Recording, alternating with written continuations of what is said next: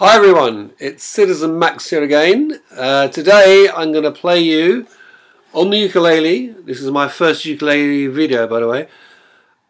I'm going to play an all-time pop classic. Perhaps the most epic all-time pop classic single ever made.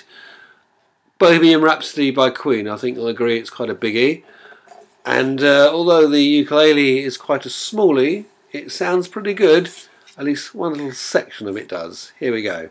Open tuning, I mean uh, standard tuning, open strings, one hand only. So I'll keep one hand behind my back. And then uh, you can just do this.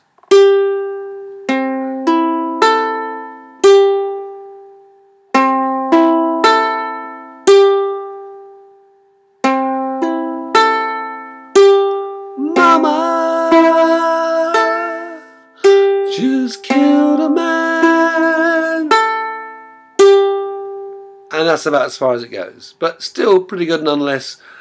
And you can use it to tune your ukulele. Okay, thank you very much for listening. Good night.